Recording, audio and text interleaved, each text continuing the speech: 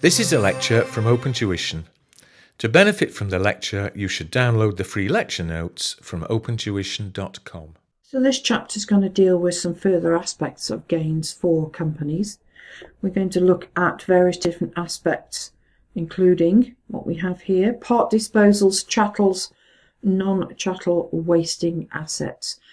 All of these have been dealt with um, in the individual chapter on capital gains, um, on part disposals and chattels. So if you haven't watched that chapter, then you need to go back and do so.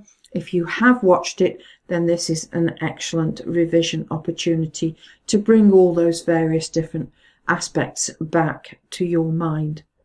So, when a company disposes of an asset, but not all of it, the allowable cost needs to be uh, apportioned. And do you remember we used A over A plus B as the fraction? And it's the same calculation as individuals as it is for companies, except that individuals don't get um, indexation allowance, they get the annual exempt amount, which is slightly different. So, example number one, we have here um, owns 10 acres of land with an original cost in 2015. Now they've sold two acres and we have a proceeds. Okay, so proceeds 16,000 and we got to deduct from that the cost and then we have to do indexation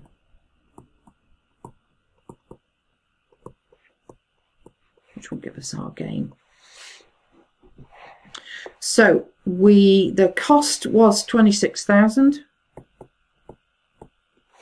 and it's A over A plus B where A 16 over 16 plus 34 A over A plus B where A is the um, the proceeds and B is the market value of what remains.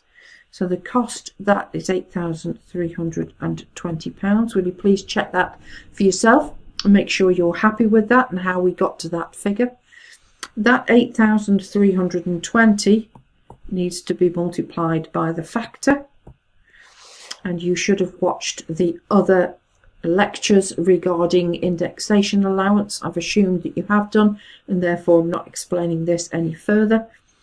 So 8,320 times 0.269 gives us 2238. So our gain at the end of the day is 5442. You can see that as a nice multiple choice question in section A. And you'll either have a box to fill it in or you will have an A, B, C, D, 1, 2, 3, 4, in which you can choose which one uh, you think is the correct answer. So a chattel disposal is exactly the same as individuals, but again, we have indexation. Non-chattel wasting assets, again, the same as individuals, but we have um, indexation allowance. Now, one of the things that we didn't do when we were doing individuals is a asset damaged, lost or destroyed. Now this comes up very, very irregularly, um, so I'm going to do it very briefly and it isn't the most important. There are layers of importance when it comes to doing tax. There are some things you have to be able to do.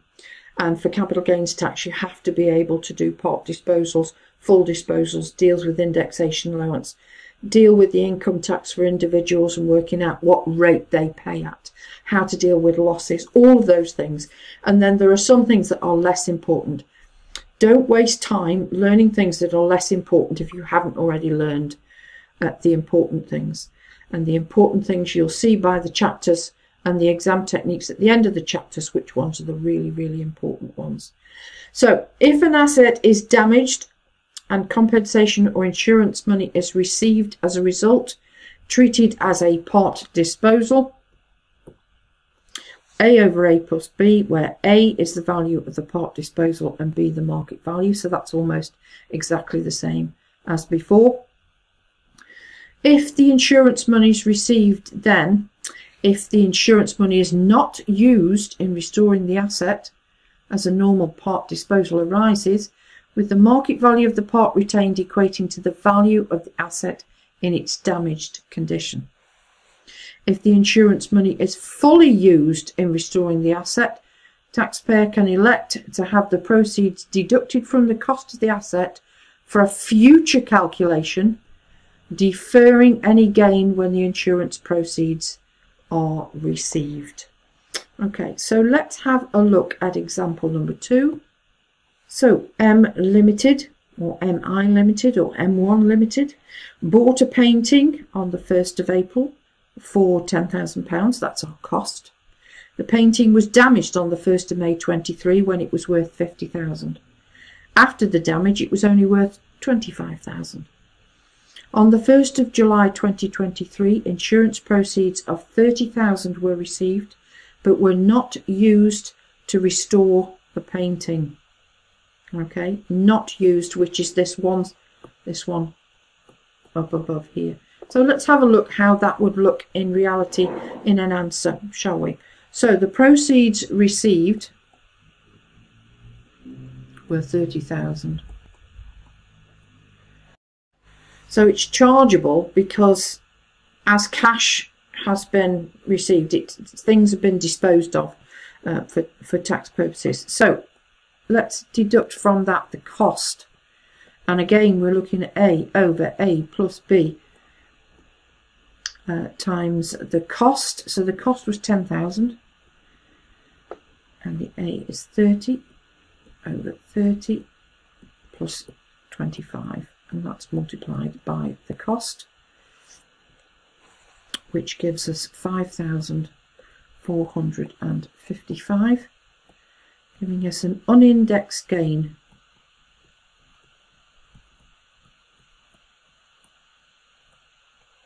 Twenty-four thousand five hundred and forty-five. And don't forget, we now need to deduct from this indexation allowance. And again, we're showing every process all the way along the line so the examiner can clearly see what we've done. So we have the cost times the factor, just to reiterate, so that's 5455. Now the factor, there we go, 0 0.549 times 0 0.549. Always check, never guess. We know what happens when we guess. I get things wrong. Okay, so this is our gain, which is chargeable of 21,550. Excellent. Example number three. Daisy Limited purchased a painting on the 1st of April for 10,000. The painting was damaged when it was worth 50. After the damage, it was worth 40. On the 1st of July 2023, the insurance proceeds of 8,000 were received. They were all used in restoring the painting. She's elected for the proceeds to be rolled over against the cost of the painting. So we've got to work out the base cost. Now, if you've done the rollover chapter, you'll understand what that means. The base cost of the painting for the future disposal. So the original cost was 10,000. The insurance that we received was 8,000 because somebody's got to pay the tax on that at some point. So the base cost is 2000.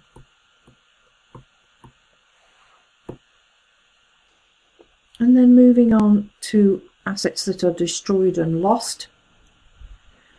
Okay, obviously if it is destroyed and lost and you receive no compensation, then that would be a capital loss because your proceeds would be nil and your cost would obviously be what the loss is. Um, don't forget, if it's a loss, you can't have any indexation allowance. Okay.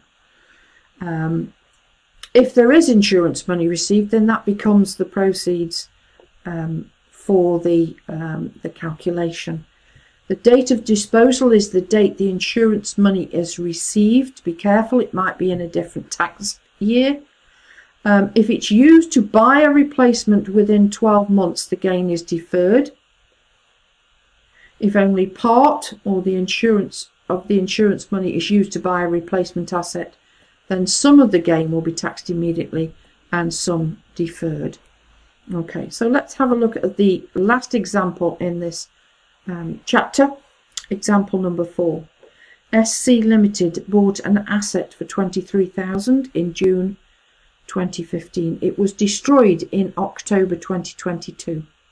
Proceeds of 34,000 were received in March 23. Okay, so that, if you remember rightly, so it was destroyed then, but this is the date of disposal when it was received. And they spent £30,000 of that money replacing the asset in June 24. Calculate the gain and the base cost of the new asset. So let's have a look at how that would look in the model answer. So the proceeds is what we received from the insurance company.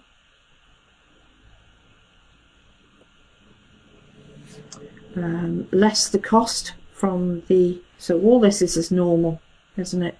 All this is as normal. And in every case, proceeds less cost equals gain. If it's an individual, then you get annual exempt amount. If it's a limited company, you get indexation allowance. So nothing on there up to that point where the chargeable gain is, is new. Then let's have a look. We're going to look at the notes at the bottom here. The proceeds have only been partially used to buy a replacement asset. Therefore, 4,000 okay, that wasn't, is gained, is chargeable immediately, and 1,250 can be deferred, and that's the amount here. So that's the balancing figure.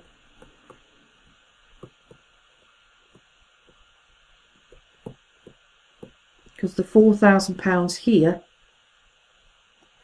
um, is taxable.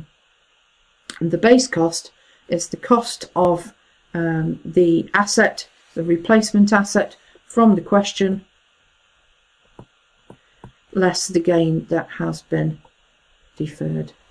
So just a short chapter um, with uh, different aspects and for individuals the rules are exactly the same um, as they are for companies except the fact that we don't have um, indexation allowance.